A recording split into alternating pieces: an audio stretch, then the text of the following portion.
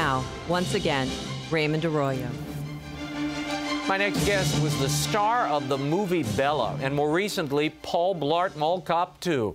Tonight, he returns to discuss his latest project, a labor of love that deals with faith, hope, and family. It's called Little Boy. In it, an eight year old is willing to do whatever it takes to end World War II so his father can return home.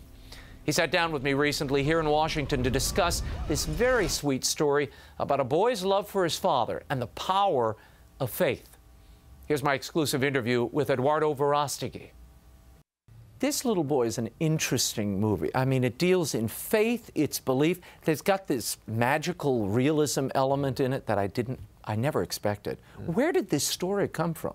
Alejandro Monteverde and Pepe Portillo. Who's the director? The director and the writer. And three years, it took three years of their lives, you know, to, to write uh, Little Boy, 15 hours every day. And finally, when they, when they gave me the script, I read it and I was moved, I was touched, I cried, and, and I, hmm. I told them, you know, let's, let's do it. Hmm. What was the idea? Where did it, what was the first germ of this idea? Because uh, this is a little boy, his father goes off to war, he's his best friend, his partner, he keeps calling him throughout the movie. You know, it, it, all in his head. One day he was, uh, he was writing another script with Pepe Portillo and two weeks later they, they were very depressed because the script wasn't, I mean, the story was not there. Mm -hmm. And next thing you know, they were watching this documentary on World War II because the movie, as you know, it takes place in the 40s uh, in a very little town in California in front of the ocean, World War II against Japan. And they were watching this documentary, and, and from there, all fiction, all in their heads.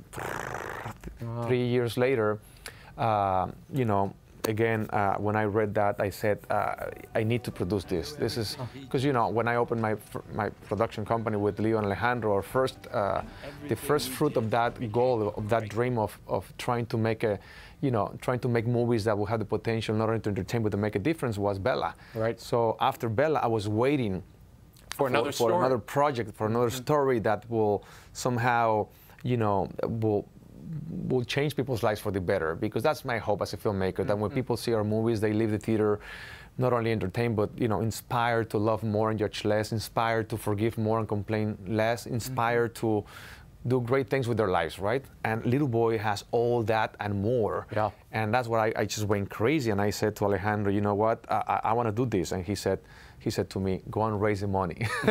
and off you did. But the hardest thing was not just to raise the money. I mean, that was a miracle, of yeah. course. You know, it, it's the most expensive film, independent film in history, shot in Mexico. Wow. Uh, the hardest thing was to find the little boy. Huh. We saw like thousand kids, Raymond, thousand kids, because the casting director told us you can make a lot of mistakes in this movie, but the, but the one mistake that you cannot make is to cast, cast the, the, wrong, wrong kid, kid, because the entire movie will collapse. Hmm. So we're like looking at you know kids in Texas, in New York, in California. Finally, one day we saw 30 kids in line, and and Jakob Salvati, uh-huh. little boy now, little he boy. was there with the long hair. He looked like a surfer. He was, you know, joking around and playing, playing with everyone when we finished the auditions, um, we find out that actually he was not there to do an audition. He was there with his older brother who has autism. He was autistic. And, and, and somehow the doctors recommended uh, his parents to take him to auditions as a therapy because he has an amazing photography memory. So the younger brother was there just waiting. So Alejandro said, I want to see this kid. So the casting director, you know, you got to be kidding me. I mean, this this kid is only seven years old. I mean, huh. you should be looking for someone that is 11 who looks like seven uh. because you want the maturity. No, no, I want to see this kid. So we saw Jakob for nine times, nine callbacks. Hmm. And at the end, we gave him the hardest scene. He came back prepared. Everybody was crying. Alejandro, stop, stop. Your little boy, this is your movie. This is your movie. The kid is looking at us like with his mouth open, and his older brother starts crying. Oh. And we're like, oh my gosh, he's jealous. No, no, I'm, I'm trying to fix things. You know, this is for both of you. The whole movie is for the mm-hmm. whole family. And he's looking at us and he's saying, you don't understand, sir. We're very thankful. Thank you so much. Thank you so much. We're very poor. And then we find out that in real life they were losing their home. Wow. So the older brother was thankful because his younger brother, Jakob, mm-hmm. saved their home in real life. How? How are you going to bring dad back, you idiot? Like, like with the mustard seed. You can move a mountain.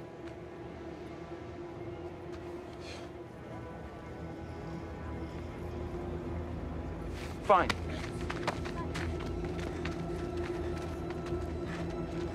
Want to move a mountain? There's one. Go ahead. Move it. Move it. Move it for everyone.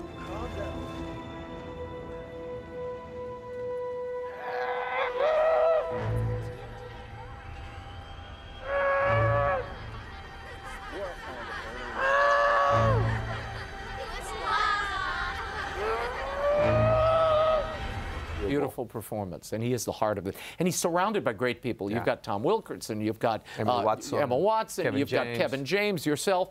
I mean, it's an amazing cast. David Henrie, who is an David amazing Henrie. actor, you know. who had a this was he says this saved his life this movie changed his life helped him rediscover his faith what did it do to your life Well, you know what? Um, when I read the script, I felt like I'm from a very small, a very small town, just like little boy.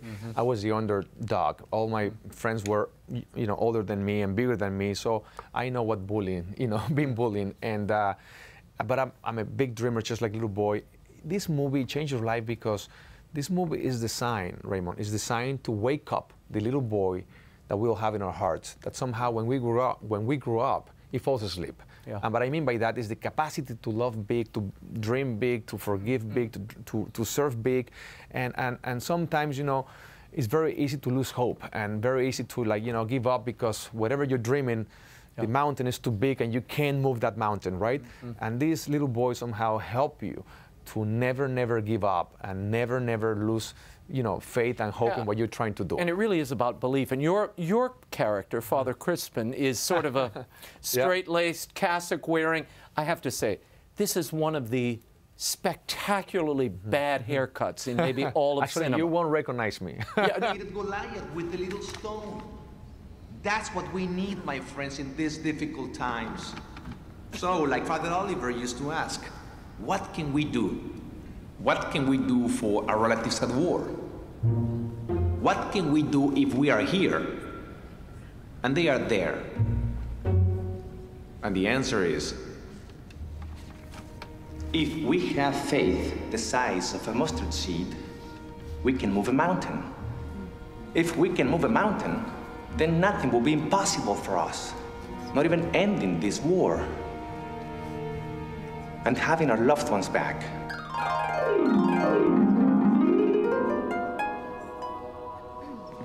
I already knew someone who could move a mountain.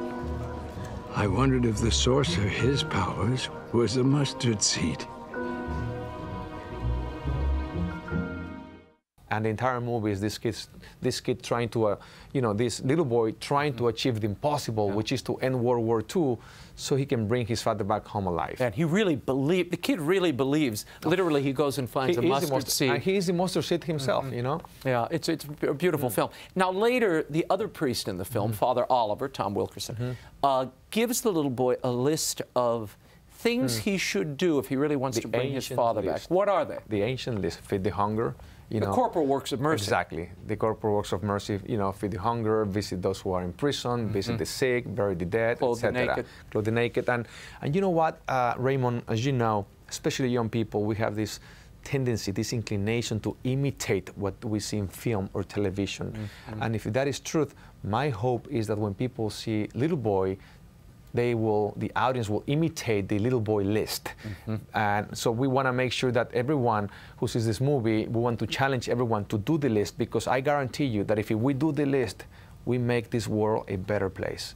Yeah, It has a fantastical, uh, almost fable-like quality. That's what Mm-hmm. I, I was so fascinated by, visually and otherwise. I mean, we go into his imagination. We see this whole world from a child's point. Yeah. of view, and I don't want to ruin it by saying any more, but it's an amazing uh, kind of exploration and balance between a childlike faith Yes. and that wonder and um, uh, sensibility that's willing to accept wonder. So, what are you working on now? I know you were just in Mall Cop, and now now you've got Little Boy. What else? Well, you know what? Right now, I'm just focusing on little boy, little boy, and little boy. I eat little boy. I drink with little boy. I wake up with it's it's five years of my life, Raymond. Mm-hmm. Five years of my life for one hour, 40 minutes of your time, and I hope my movie, our movie, will touch your heart.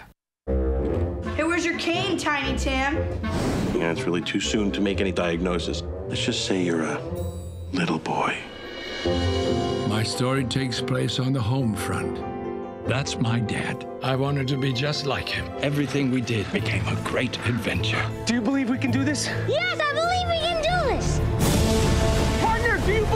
can do this? I believe I can do this. Pepper, Flynt, Busbee, it's time to go to bed. All was good in the old Busbee home, or so I thought. You're going to war. Yes. I don't want you to go. Why can't we stay together? The moment of truth. I am searching for the chosen one. Me? You. The movement of an object to inner power. Do you believe you can do this? Yes, I believe I can move it. You wanted the bottle to move so much. It moved. Your faith is powerful. But if I get enough faith, nothing's impossible, right? Even bringing my dad home? Your faith won't work if you have even the slightest bit of doubt. Want to move a mountain? There's one. Go ahead. Move it.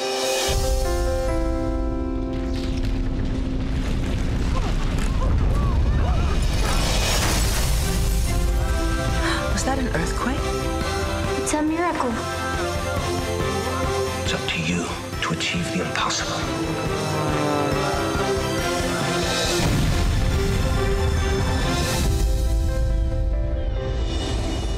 It takes courage to believe. This week, Verastegui had a chance to share his film with a pretty important moviegoer.